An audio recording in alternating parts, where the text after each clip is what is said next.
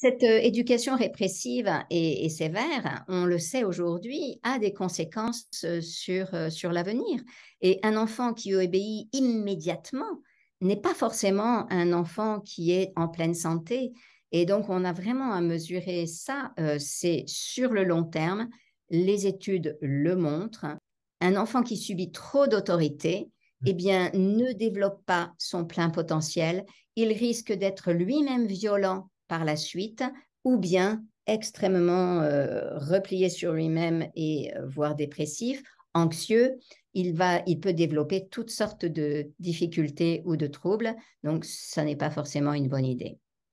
Donc, autant que faire se peut, éviter les violences éducatives euh, ordinaires, ce que nous pouvons définir comme cela, en gardant quand même en tête qu'il existe une capacité de résilience, et notamment le fait de changer de mode éducatif, et, ou même de se faire accompagner plus tard lorsqu'on a subi quelques, enfin, des traumas ou en tout cas des blessures liées à l'éducation, euh, peut nous aider à, retrouver de l'équilibre et peut nous aider à guérir aussi. La résilience existe en tout cas.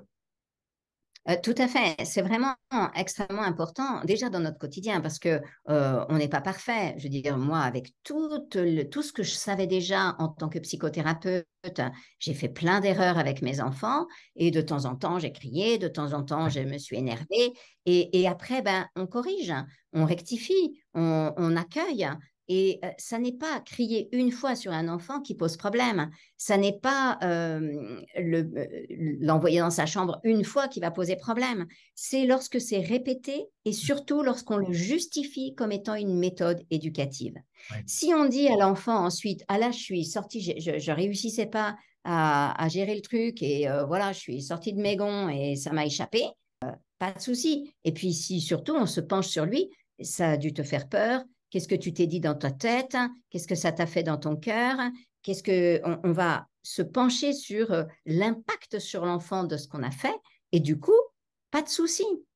Et c'est vraiment important, et tu le soulignes quand tu parles de résilience et aussi quand tu parles de nos, des traumas que nous avons subis dans notre enfance. Oui, on sait que les traumas subis dans notre enfance, ils, ils, ont, ils sont imprimés dans notre cerveau, ils sont imprimés jusque dans notre ADN. C'est vrai. Et en même temps, même ce qui est imprimé dans l'ADN, ce qui est imprimé sur les télomères de l'ADN, ce qui protège le bout de l'ADN, eh bien, ça se répare. Donc, nous pouvons réparer notre cerveau, nous pouvons réparer notre ADN, nous pouvons euh, réparer les blessures de notre enfance. Donc, euh, que euh, nous commettions quelques violences envers nos enfants ou que nous ayons subi des violences, ça se répare.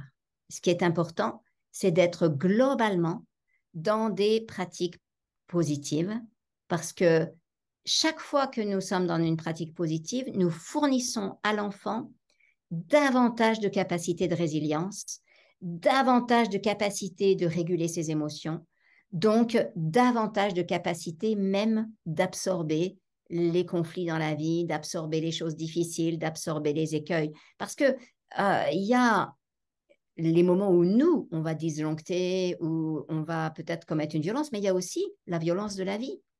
Il peut perdre euh, un être cher, il peut y avoir une séparation, il peut y avoir euh, euh, papa qui part en prison, il peut y avoir, il peut y avoir toutes sortes de choses qui se passent dans la vie et qui sont très très dures à vivre.